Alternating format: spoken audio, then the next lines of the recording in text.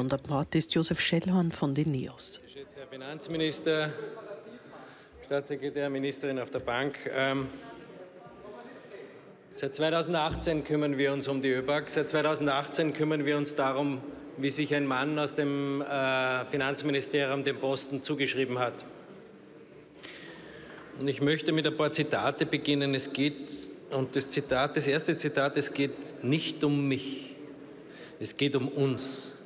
Es geht um die Republik Österreich.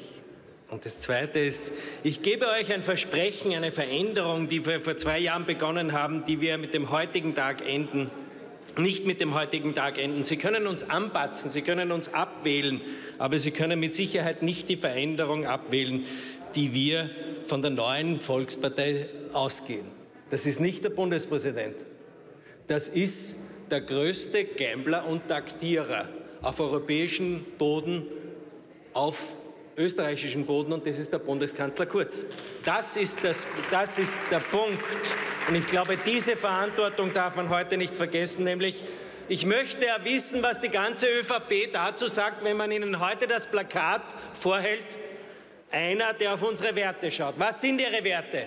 Das, was hier geliefert wurde, und ich bin mir sicher, der Großteil der Herrinnen, Herr Finanzminister, hat schon auch solche SMS geschickt. Irgendwen seiner Freunde irgendwohin. Auch schlüpfrige SMS. Aber nicht, wenn es darum geht, wenn es um Staatseigentum geht, dass man sich gewisse Dinge zuschanzt. Das ist eine andere Dimension. Und dieser moralische Konkursantrag, den Sie geliefert haben, dieser moralische Konkursantrag, den die ÖVP hier liefert und schön hier redet, ist ein Wahnsinn, ist ein Schlag ins Gesicht für jeden Steuerzahler, für jede Steuerzahlerin. Hier geht es um das Familiensilber und um nichts anderes.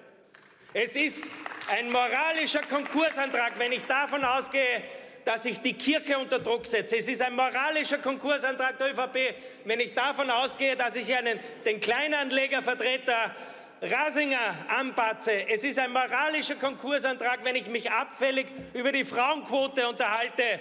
Das ist ein moralischer Konkursantrag und es ist nicht mehr auszuhalten. Und wir können gerne, wir können gerne über die Moral weiterreden. Das hier ist eine andere Dimension.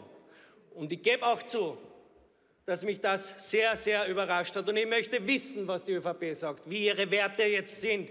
Und ich möchte nicht, ich frage mich und ich habe mich gefragt, wie ich das von der Kirche gelesen habe, wie viele Unternehmer wird es eigentlich geben, die sich jetzt ein bisschen Angst haben, weil wir uns aufbuddeln, dann schickt einer irgendwas dem Finanzministerium einmal die Kontrolle eine, damit er auf ewig die Goschen hält. Das kann es nicht sein. Das kann es nicht sein. Und darum, was wir noch nicht und was in meinen Vorreden überhaupt noch nicht besprochen wurde, was ist eigentlich mit dem Aufsichtsrat?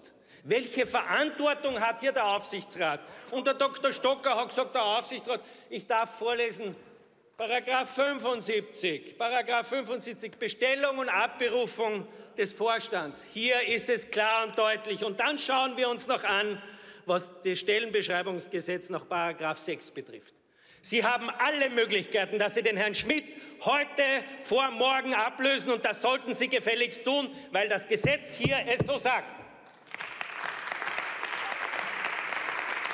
Und jedes Halten dieses Mannes macht diesen Staatsmann erpressbar.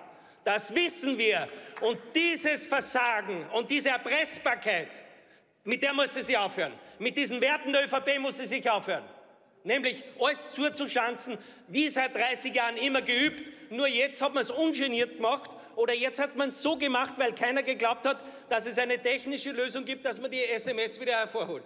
Das ist der Punkt und nichts anderes. Das hier ist ein moralischer Konkursantrag der ÖVP und ein Schlag ins Gesicht für jeden Steuerzahler, für jede Steuerzahlerin sagt Josef Schellhorn von den NEOS. Das Gesetz würde eine Ablösung Schmieds als ÖBAG-Vorstanden möglich machen. Besser heute als morgen, fordert er.